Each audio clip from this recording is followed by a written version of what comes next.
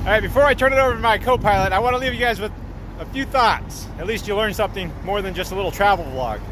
Just check this out. This is a 45 foot diesel motorhome and it has a tag axle back there. Second set of rear wheels.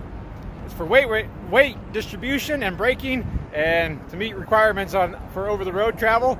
But I will tell you this much, compared to a short diesel that I took on my last trip, I did not get pushed around that much with this big behemoth.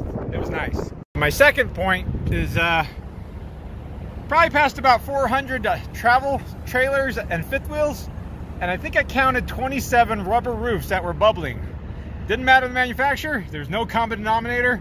They were all bubbling from different manufacturers. So inspect your rubber roofs, guys. Please.